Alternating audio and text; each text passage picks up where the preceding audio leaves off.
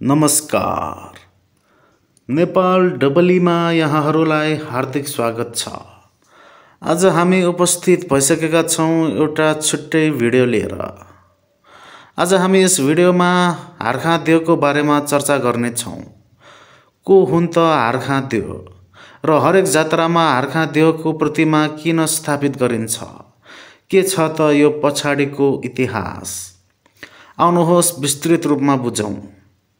आर्खादेवको बारेमा रिसर्च गर्ने क्रममा तिनवटा जनउक्तिहरू अगाडि आएका छन्। आउनुहोस् बुझौँ र तिनवटै जनउक्तिहरूलाई केलाउने र समानताका बारेमा बुझौँ। आर्खादेवलाई आकाश भैरव वा नेवारी भाषामा आजु भनेर भनिन्छ। जुन भैरवका विभिन्न रूपहरूमध्ये एक हो। उहाँलाई नेपालमा राजा यलम्बर र आजु अर्थात् नेपाल भाषामा प्रथम राजा भनेर पनि चिनिन्छ। आकाश भैरवलाई किराँती राजा यलम्बर स्वयं भनिन्छ।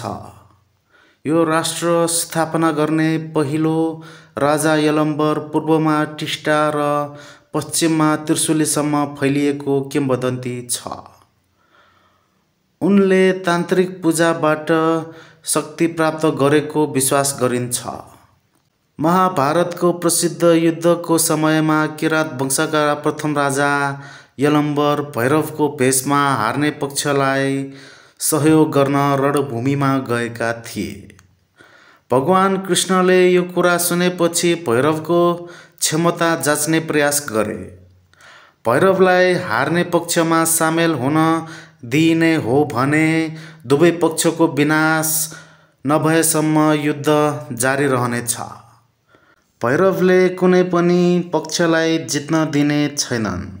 भैरव यलम्बर किराँत राजा हुन् र किराँतहरू महान सिकारी भनेर चिनिन्छन् जसको मुख्य हतियार धनुष र बाढ हो।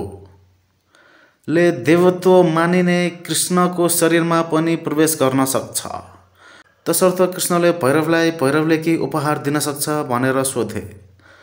किनभने महाभारतको भेलामा भैरव सबैभन्दा महान योद्धा थिए।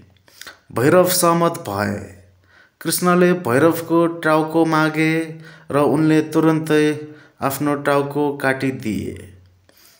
जुन आकाश हुँदै काठमाडौँ आइपुग्यो। आकाशको मार्गबाट आइपुगेकाले आकाश भैरव नाम हुन गएको मानिन्छ। किम्बदन्ती छ कि भैरवको पूजा सामान्यतया सुरक्षा र शक्तिको चिन्ह हो। नेपाली कल्पनामा आकाश भैरव राष्ट्र र जनताको सुरक्षा र सद्भावनाको प्रतीक हो। धर्म राष्ट्र जनता आस्था र परम्परागत कृतज्ञता सबै यस भैरव उपासनाको प्रकटीकरणमा गाँसिएका छन्। आकाश भैरवलाई जीवन तत्त्व पनि मानिन्छ। सेप्टेम्बर दुई हजार सातमा नेपालको सरकारी वायु सेवा कम्पनीले आफ्नो विमानमा प्राविधिक समस्या आएपछि कम्पनीका विमानहरूमा देखिने प्रत्येक आकाश भैरवलाई खुसी पार्न दुईवटा बाख्राको बलि दिएको पुष्टि भएको छ। सिद्धिपुरका एक पुजारीका अनुसार हार्खादेव एकल भैरव हुन्।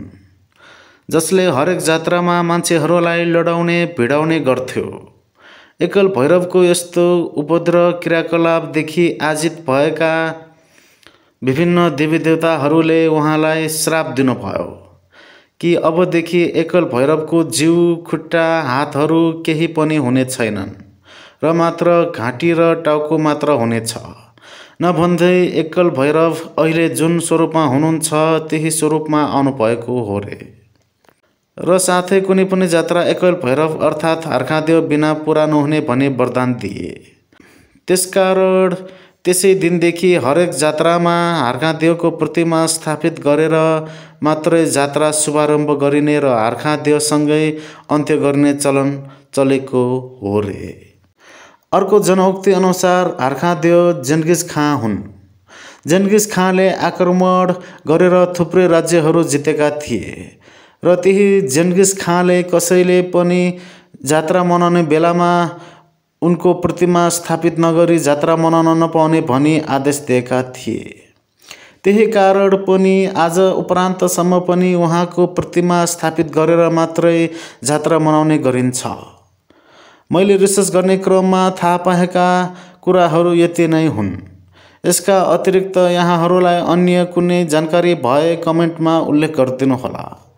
र यी तिन जनउक्तिहरूमध्ये यहाँहरूलाई कुन चाहिँ धेरै रोचक लाग्यो त्यो पनि कमेन्टमा उल्लेख गरिदिनुहोला।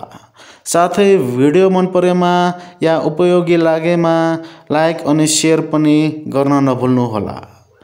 यस्तै रोचक भिडियोका साथ अर्को भिडियोमा उपस्थित हुने नै छु। आजलाई बिदा हुन्छु। नमस्कार।